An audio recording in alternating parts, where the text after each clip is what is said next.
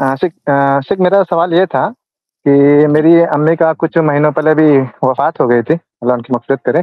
तो अगर हम मुझे जाना है उनके कब्र कब्र मतलब दुआ हुआ करने तो हम तो कहीं भी कर सकते हैं लेकिन अगर उनकी कभी याद वगैरह आए तो उनके कब्र पे जाके उनके लिए दुआ हुआ करना तो इस बारे में जरा रहनुमाई कर दीजिए। जी शेख। देखिए अल्लाह के नबी सल्लल्लाहु अलैहि वसल्लम ने कब्रों की जियारत की इजाज़त दी है, बल्कि उसकी तरगीब दिलाई है। लेकिन ये जियारत ऐसी नहीं होनी चाहिए जिसके लिए आपको कहीं सफ़र करके जाना पड़े। अगर आपके गाँव में पास में ही कब्र है तो उसकी जियारत की इजाज़त है, बल्कि उसकी तरगीब दी गई है। अल्लाह के नबी वसल्लम की हदीस है कुन तो नही तुकुम अन जियारतिल कबूर अला फजूरूहा कि मैंने पहले कब्रों की जियारत से मना किया था लेकिन अब वो हुक्म मनसूख होता है कब्रों की जियारत करो।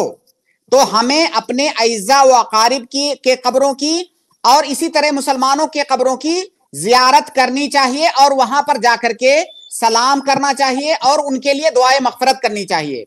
लेकिन ये याद रहे कि जब आप कब्र की जियारत करें तो वहाँ पर आप ना तो अपने लिए वहाँ पे दुआ करेंगे खास अपने लिए दुआ नहीं करेंगे।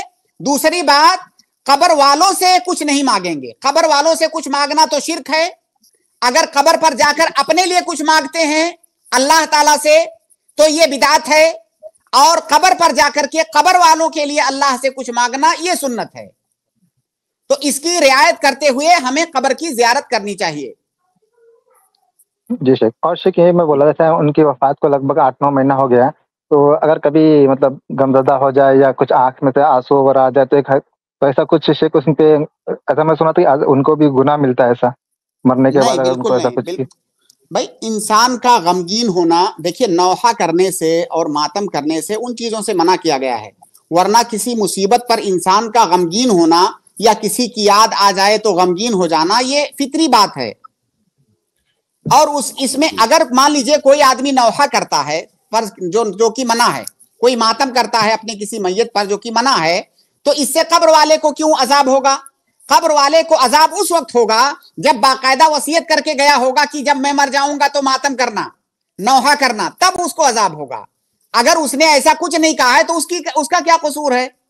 तो वो जो हदीस में है, जो एक हदीस है कि कब्र वाले को सजा दी जाती है, अजाब होता है नौहा करने या मातम करने पर, ये उस सूरत में है जब वो बाकायदा वसीयत करके इसकी जाए। अगर उसके कहे बगैर कोई नौहा मातम कर रहा है तो इसमें उसका कोई कसूर नहीं है। और बाकी किसी की मौत पर रंजीदा हो जाना या किसी या की आ, को याद करके गमगीन हो जाना ये फितरी बात है ये कोई गलत बात नहीं है।